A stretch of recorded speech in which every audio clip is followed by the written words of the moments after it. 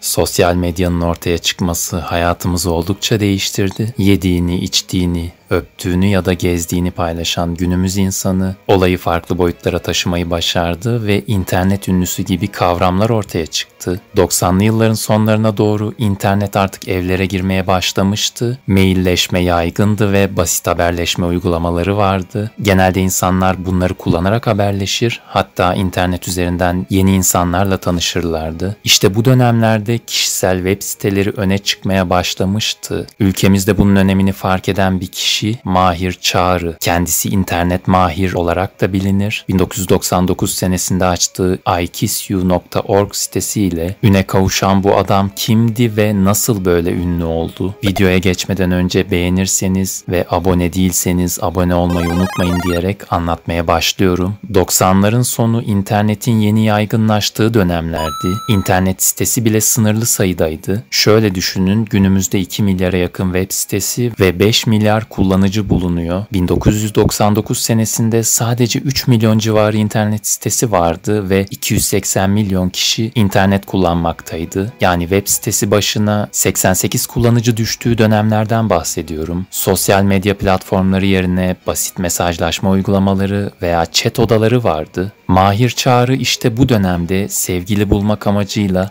ikissu.org internet sitesini açtı ve herkesi öpmek istediğini tüm dünyaya duyurdu. O yıllarda web siteleri böyle basit tasarımlara sahipti. Mahir Çağrı'nın sitesine girince sayfama hoş geldiniz, hepinizi öperim sloganıyla sizi karşılıyordu ve kendi günlük fotoğrafları vardı. Bu ilkel web sitesinde tarzanca bir İngilizce ile tüm dünyaya sizi öperim diyen Mahir Çağrı bir anda tanınmaya başladı. Bir gün içinde bir milyona yakın kişi bu siteyi ziyaret etmişti. İşte o andan sonra Mahir Çağrı artık internet Mahir olarak tanınıyordu. Kendisi dünyanın farklı ülkelerinde ülkelerinden çoğunluğu kadın olan kişiler tarafından arandığını söylüyor. İngilizcenin yanı sıra anlamadığı Fransızca, Çince, Japonca, Rusça gibi farklı diller konuşan insanlar da onu aramış. Arayanlar internet mahirin sesini duyunca çığlık atarak sen mahir misin? Gerçekten böyle bir adam var mı diye şaşırmışlar. O dönemde bir hayran kitlesi bile oluşmuş Mahir abimizin ama nasıl oluşmasın internet Mahir'in sitesine bakınca günümüzde bile hayran kalacak insanlar vardır vardır diye düşünüyorum. Baştan söyleyeyim bozuk İngilizcesine lafım yok. Genelde insanlar bunu komik ve samimi bulduğu için bu kadar ilgi göstermiş. Belki de bunu kullanmasaydı bu kadar ilgi görmeyebilirdi bilemiyorum. Fakat kendisi bir röportajında bu durumu İngilizcesinin iyi olduğunu ama pratiği olmadığını söyleyerek açıklıyordu. I like music.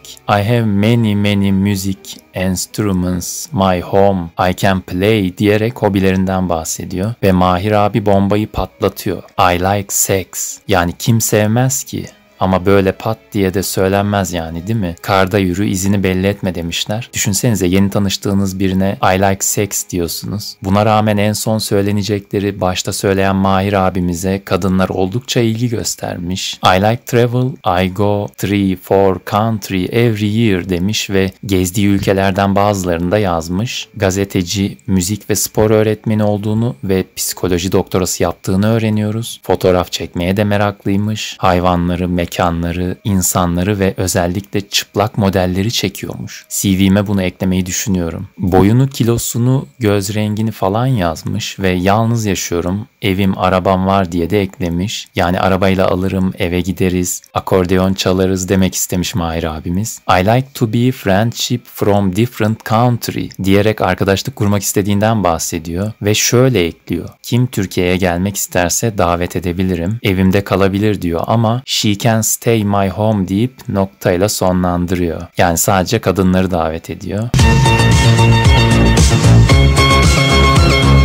Daha sonra internet mahir Forbes dergisinin 2000 yılında düzenlediği listede dünyanın en çok tanınan 100 kişisi arasına girdi. Yahoo web sitesinin 100 en önemli internet olayı sıralamasında 3. olmuştu Mahir Çağrı. Yurt dışına çağrılmaya başlandı ve hayranlarının evinde bile kalmış. Televizyon programlarına davet edildi. Çoğu ünlü müzisyen ve oyuncular bile ondan bahsedip iletişim kurmaya çalışmış. The Guardian gazetesi 2006 senesinde yayınlanan Borat isimli filmin baş karakteri karakterinin internet Mahir'den esinlenildiğinden bahsediyor. Gerçekten büyük benzerlikler var. Guinness Rekorlar kitabına giren, dünyanın en seksi insanları listesinde bulunan, birçok ödül alan Mahir Çağrı, zamanla internetin yaygınlaşmasıyla 2000'li yıllardaki popülerliğini yitirmiş ve günümüzde eskisi gibi tanınmıyor artık. O zamanlar nasıl böyle bir üne kavuştuğu sorulunca doğal ve gerçek yüzümü gösterdim. İnsanlar internete kendilerini olduklarından farklı gösteriyor. Ben öyle yapmadım, hep aynı adamım diyerek yaşadıklarını anlatıyor. Türkiye'de kendisiyle dalga geçildiğini fakat dünyada daha çok tanındığını söylüyor. Yaptığı siteyle iyi para kazanabilecekken bunu ön planda tutmamış. Bazı para aldığı yerler olduğunu da ekliyor ama esas amacı bu olmadığı için çok da önemsememiş. Yani düşünsenize günümüzde sosyal medyada türeyip para için her şeyi yapanları görünce Mahir Çağrı'nın o zamanlar yaptıklarının ne kadar da samimi olduğu anlaşılıyor. Şimdilerde gençlere müzik ve spor dersi vererek mütevazi bir hayat sürüyor. İnternetten uzak durduğunu ve hayatı sanal ortamda değil gerçekte yaşamanın öneminden bahsediyor Mahir Çağrı. Günümüzde pek bilinmese de 2000'li yılların efsanelerinden biri olarak çoğumuzun hafızasında yer edinmişti internet Mahir. Eğer videoyu beğendiyseniz ve abone değilseniz hemen abone olun yoksa internet Mahir sizi öpebilir. Sonraki videolarda görüşmek üzere. Hoşçakalın.